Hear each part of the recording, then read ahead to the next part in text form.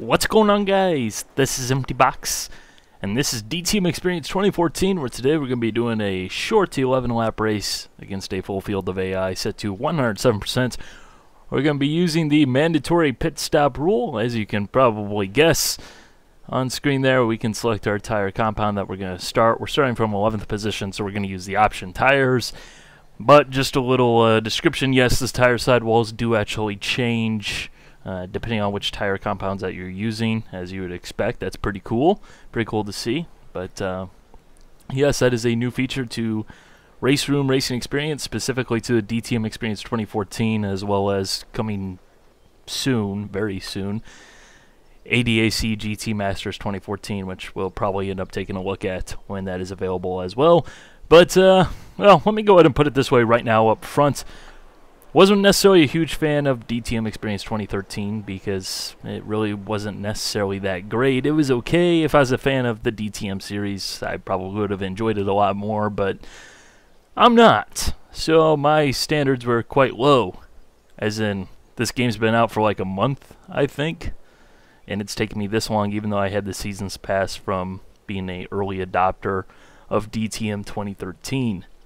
So this was free and it took me a month. My expectations were that low, and my expectations were definitely surpassed. So let's go ahead and select the option tires, and then we'll get on into the race. Alright, we're starting in 11th position, 11 lap race. We will have to make a pit stop in the middle third, I believe is the rule, which is so incredibly German. Couldn't just say you have to be like five laps into the race or five laps before the end of the race. No, it's got to be the middle third.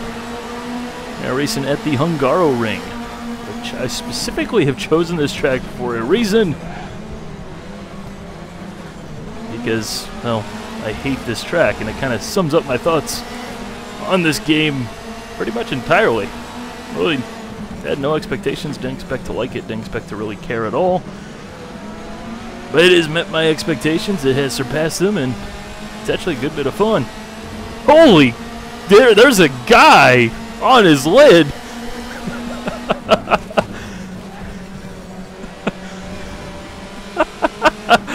ah, I have not seen that. I've done several races against the AI here, just testing things out, having a blast, really. I've never seen a car flying around like that. It's, it's news to me.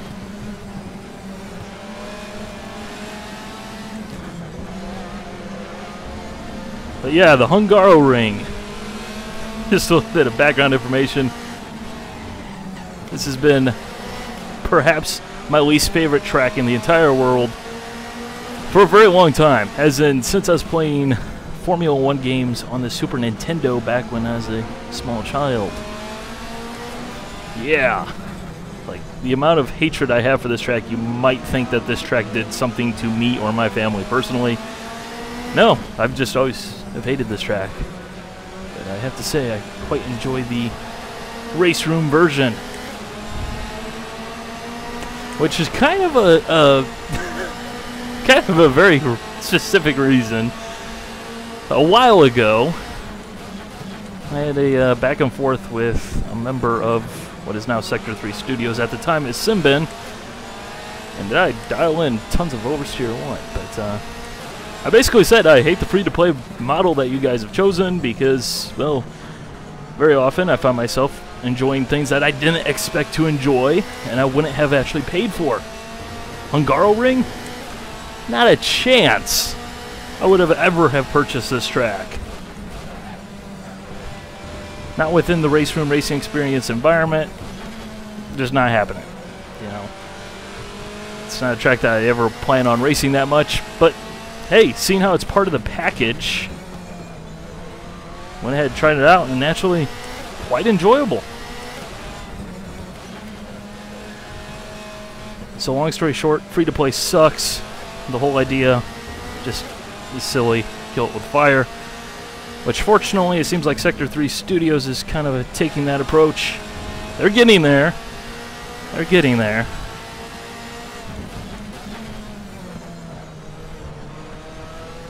I have to say though, one thing with these cars, they do feel better than the 2013 version. The 2013 version to me just kind of felt like general understeer all over the place. And it really just felt very safety sealed. Like the game was trying to keep you from actually having a challenge, from actually having difficulty driving the car. The front end always wanted to wash out first. But it seems like with 2014, that behavior is definitely kind of toned down a good bit. And I really feel like this is actually a very fun experience. I know that wasn't a pun on the name. Like it, it's actually very enjoyable to drive. And you know, it, it's believable, I'd say. You know, you don't think of DTM cars as the most difficult cars in the world to drive by any means. Personally, I think of them as glorified Formula 3 cars with fenders on them. Because that is pretty much what they are now. Bring back the good old days, which they will be doing in a future contents pack, but uh, well, we'll cross the bridge when we get there.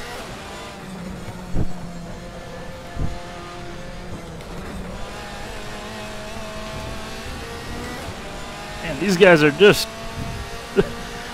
guys are giving me a challenge. Give me a challenge. I have to focus. I have to concentrate. Thank goodness I don't have to select adaptive AI abilities. Just go ahead and set that up. Thank goodness I can just go ahead and say, hey, this is how long the race is going to be. Sector 3. it wasn't that difficult. Come on. Thank you. Like, really, one of the stories of 2014, I think, within sim racing really has to be the fact that Sector 3, formerly Simbin, has actually turned around a game with RaceRoom racing experience and its various experience offshoots in DTM and ADAC GT3 into something that's actually actually perhaps a contender.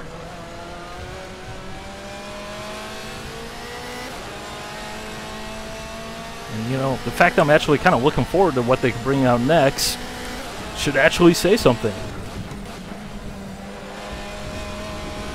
As I continue to extend the track limits there. That's okay, nobody is looking this far down the pack.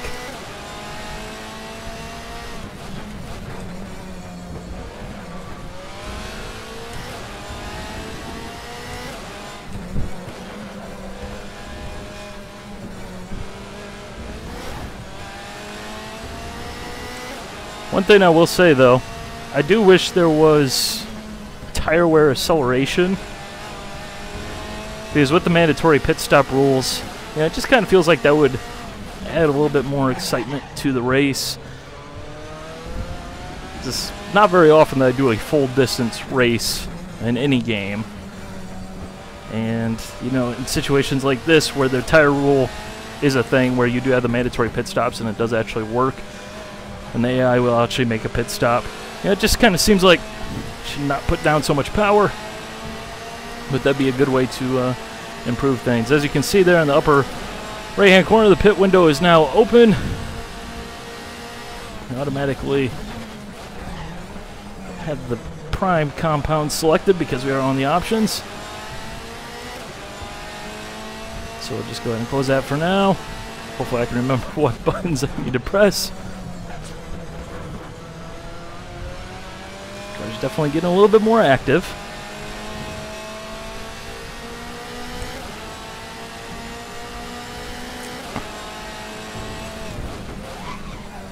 Uh,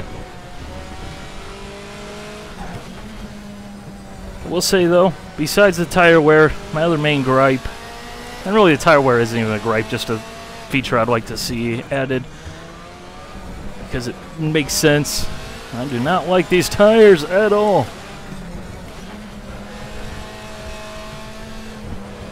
Extra grip makes me overconfident. But I'd also like to see some settings for the AI in terms of aggression. Which is something that you typically have seen in pretty much every sim out there. That's based on the ISI Motor 2 engine. Or whatever you want to call it, technicality. Which you know, the behaviors I see really remind me of an rFactor 1 with too much AI aggression there. Very dive bomb happy. And they do a pretty good job of getting out of the way. They're not terrible, terrible, but I just feel like it could be better.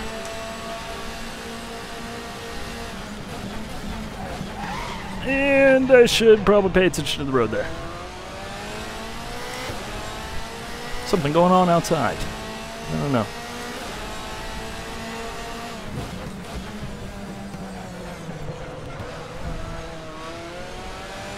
Man, I must have done something to the setup because it wasn't driving like this last night. Although my lap times aren't necessarily that far off what I was doing last night. But it is definitely more of a handful.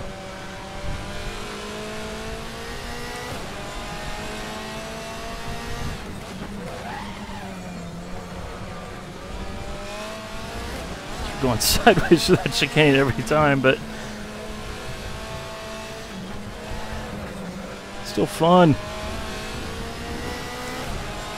I think really it should probably say something that even though I'm not a fan of DTM, even though I'm not a fan of this track, or hadn't necessarily traditionally been a fan of this track, I'm actually really enjoying it. a lot of fun.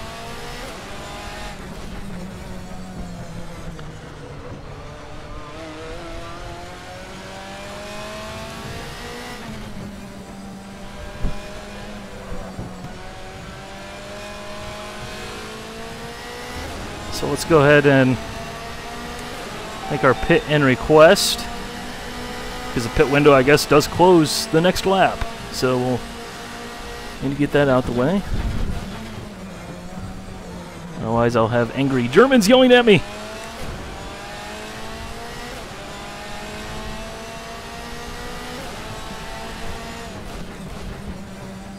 I will say the AI also does kind of tend to be inconsistent. We do have DRS, I guess, so let's go ahead and use that.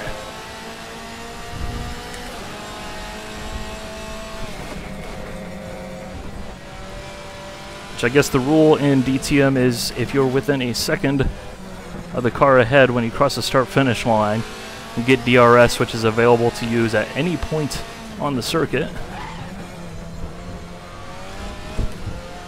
Which is pretty cool, pretty nifty. Doesn't really play too much of a factor here at this track with all the twists and the complete lack of straightaways.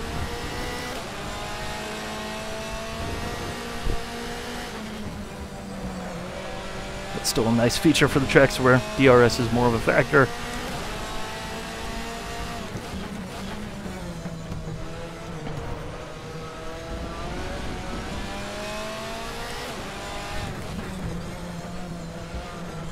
One thing's for sure, though, this definitely requires some concentration. Pit limit 50 miles an hour. Let's see if we can make a good hot pit entry. Okay, the AI will take over. I'll scroll down. Pit stop actions confirmed. There's no fancy animations or anything that's at least visible from in the car, as you can see, but Pit stops are better than no pit stops. The AI does basically do everything, which is quite lame, and you do drive through people. Apparently they went to the iRacing School of Racing. But, uh, yeah. I'd really like to see this also go away. This is player control resume crap. Come on. As soon as I cross the pit lane, at absolute worst, I should be back in full control of my vehicle. Really, that's just kind of again, I guess you could say griping, but I just kind of feel like there's things that this game does and has done that just kind of rub me the wrong way for no reason at all.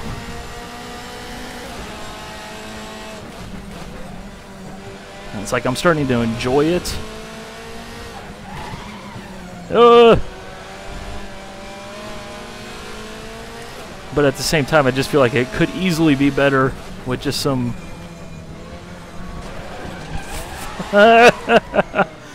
okay, my fair in fairness there, I did kind of turn in on him slightly, but still.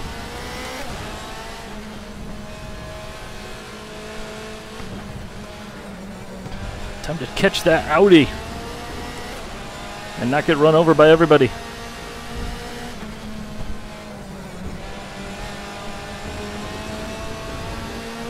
My goodness. And passed.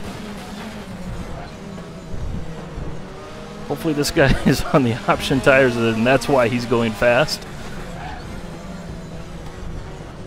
Hopefully. Hopefully it's not my driving skills deteriorating, which probably could be that.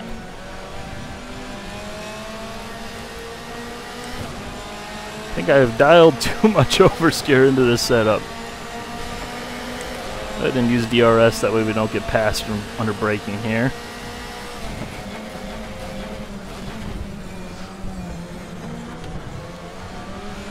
My goodness! My goodness!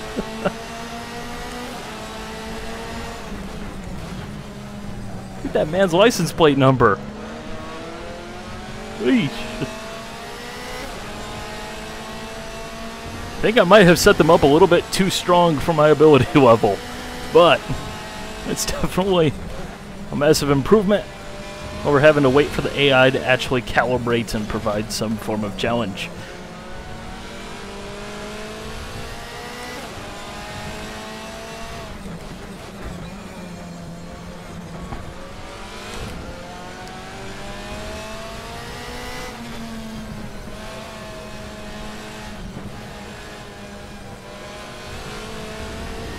Be a little bit more careful coming out of that corner. The sideways is cool, but the sideways is slow. Especially in a car like this, which has tons of downforce.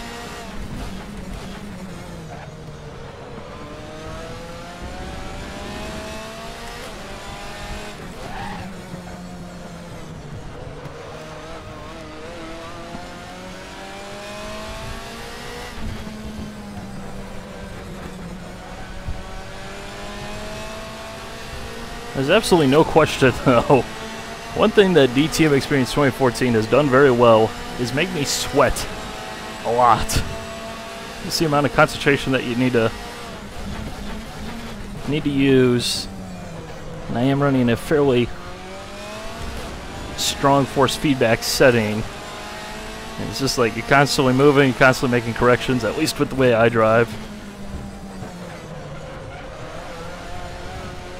Definitely makes you work.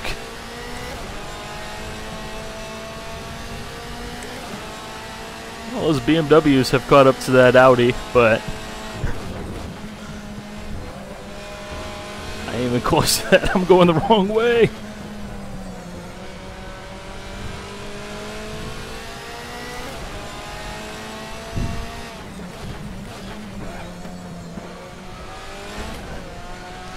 Hopefully they'll get a little bit of payback for me. That would be, would be perfect.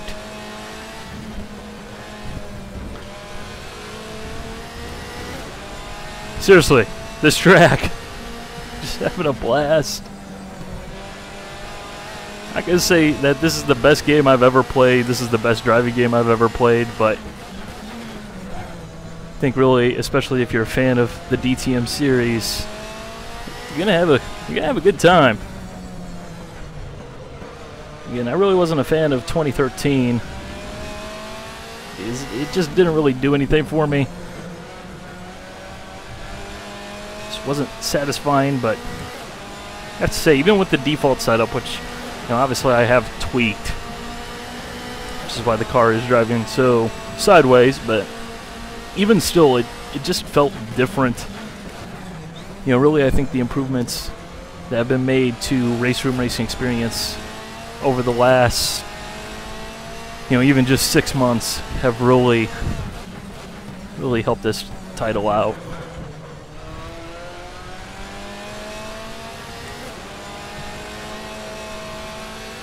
And I just love all the little bumps that you get with the track and the way your car reacts to them. The sounds on the final lap here.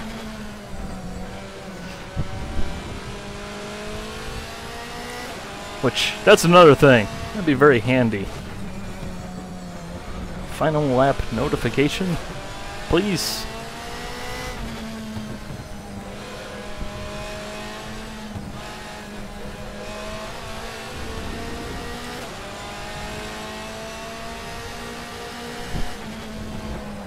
Uh. oh boy, this car is so sideways. So sideways. We're flip flopping. Understeer, oversteer, all over the place. Right there, there's a very good example of the bumps.